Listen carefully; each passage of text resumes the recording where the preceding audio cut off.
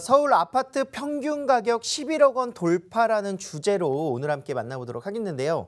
자, 서울과 경기 지역의 평균 아파트값 추이가 매섭습니다. 지금 현재 어, 불과 7개월 만에 1억 원이 가까이 상승된 모습들 살펴볼 수가 있겠고 지금 강북 지역은 8억 7천만 원의 평균 가격 그리고 강남 지역은 13억 2천만 원으로 평균치가 형성되었었고 강북 지역도 평균값이 6억 원에서 8억 7천까지 올라오는 나오는데 단 2년도 걸리지 않았다는 점을 살펴보신다면 강북 지역의 평균 가격들이 상대적으로 높게 형성되어 있는 지역에 비해서 저평가됐다라는 판단 하에 가격들을 많이 주도했다 이렇게 볼 수가 있겠습니다. 강북 3구의 상승세 주도와 그리고 또한 재건축 위주의 현장들에서 지역들의 가격 상승들이 크게 나타나지 않았나 이런 예상들을 할 수가 있었었고요. 13개월 내에 2억 원 가까이 상승했기 때문에 정말 뭐 10억 돌파했다 이야기가 나왔었을 때가 얼마 안 된 것 같은데도 벌써 어, 이렇게 많이 올랐네요. 그리고 또한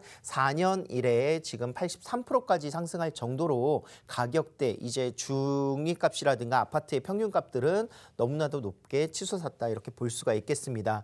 특히나 지난주였습니다. 토지거래 허가구역으로 이제 지정이 됐었던 영등포 여의도라든가 또는 성수 지역, 목동 지역 그리고 압구정 지역들 토지거래 허가구역으로 묶이면서 이 지역들 바로 전날까지 거래량 신고가들이 계속해서 나타날 정도로 지정 전 급상승한 요소들이 커, 크지 않았나 이런 생각들을 할 수가 있었었고 서울 아파트 평균 전세 가격 또한 매매 가격에 편승하여 가격대가 높게 형성된 모습들 살펴볼 수 있었습니다. 자 경기도권에서는요 9개월 만에 1억 원이 상승할 정도로 5억대 평균 가격의 5억대를 돌파를 했다 이렇게 볼 수가 있겠고 경기도권은 특히나 이제 역세권이 생길 수 있는 지역들 광역 철도망의 구축 호재와 어, 상대적으로 좀 낮게 형성되어 있는 상황 속에서 지금 실질적으로 거주할 수 있는 주택 서울에 들어갈 수 있는 주택들이 없다 보니 수도권 지역이라든가 이런 경기도권 지역으로의 그런 기저효과가 같이 함께 나타났습니다. 자, 거기에 더불어서 아파트 중에서도 대형 평수보다는 중소형 아파트 59제곱 어, 라인들의 평균 매매 가격이 급상승하는 모습들을 보여주고 있었는데요. 강북뿐만이 아니라 강남 모두 다 중위값 자체가 평균 매매 가격 59제곱 기준으로 해서 굉장히 높게 상승되는 모습들 살펴볼 수가 있었습니다.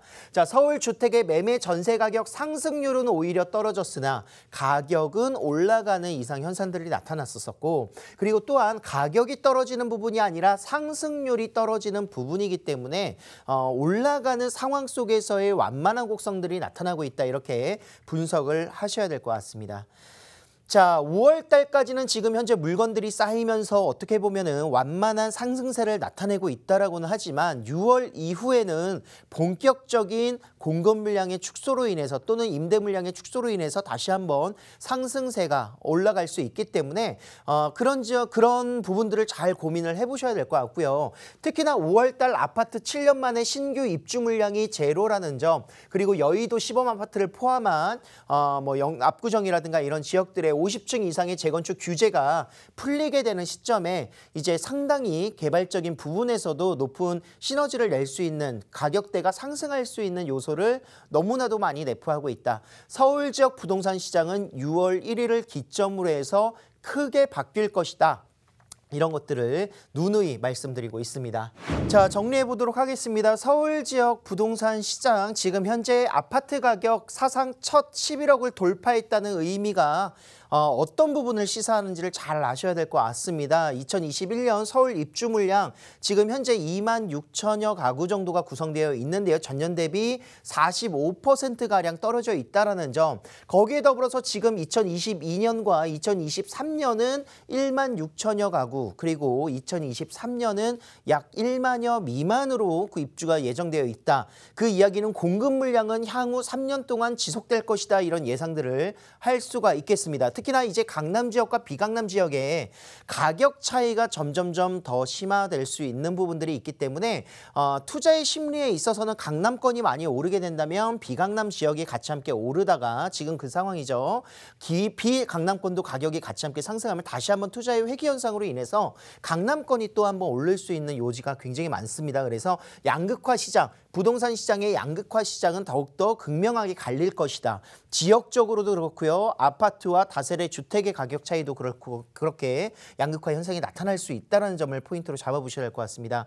자, 특히나 서울 지역의 재개발 지역과 재건축 지역들의 축 추진의 속도가 굉장히 가속화되면서 사업성을 훨씬 더 좋도록 만들도록 이제 흉수의 규제 제한 완화라든가 또는 이런 용도 지역과 어, 용적률의 상향 소식들이 예정되어 있기 때문에 굉장히 추진 속도가 빨라질 수 있는 요소가 많이 있다. 그리고 현금 유동성이 정말 많습니다. 지금 서울뿐만이 아니라 전국적으로도 자금이 많이 풀려 있어요. 특히나 경기도권의 그런 토지 보상이라든가 이런 부분으로 인해서 어, 또 저금리와 양적 완화 정책으로 인해서 현금 유동성이 증가된다는 것은 인플레 이션 위험이 분명히 나타날 수 있고 이 자금들이 부동산 시장으로 계속 흘러들어올 수 있는 여지가 너무나도 많다라는 점을 어, 잡아가셔야 될 것 같아요.